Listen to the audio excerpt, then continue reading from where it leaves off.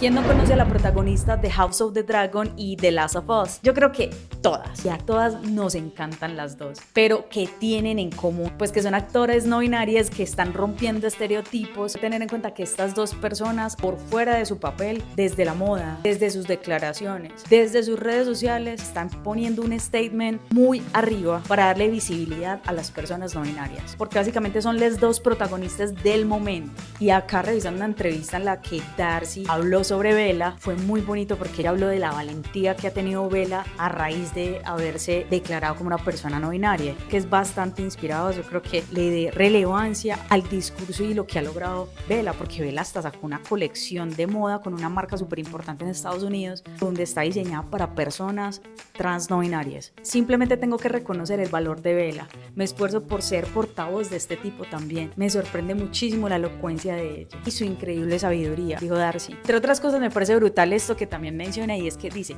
tengo la suerte de poder interpretar un papel protagonista, lo cual significa que probablemente pueda gritar un poco más fuerte, claro, porque tiene mucha más visibilidad en estos momentos y muchas de las personas que no saben ni siquiera qué significa ser una persona no binaria se están preguntando eso a raíz de conocerlo por medio de la historia que está interpretando en HBO. Y dice, pero creo que eso también lleva una gran responsabilidad. Estoy preparándome para ello.